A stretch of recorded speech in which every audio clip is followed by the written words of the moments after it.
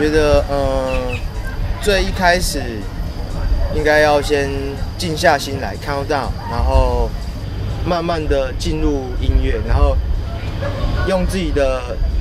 想法跟用自己的脑袋去融入 enjoy the music，enjoy the music。I think，呃，最重要的就是这点，真的是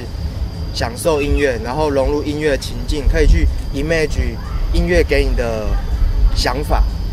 然后用自己的身体去表达。那可能对新人来讲，一开始讲这个会比较抽象，但是新人的话，一开始可以先把 step 练好，对，可能 crossover、ego，对，去呃在每个拍子上面 foundation 基本的 foundation 的拍子上面去做到不会快拍，不会慢拍，然后你可以把握住每一个每一个动作是你想要的，是你想要的，对。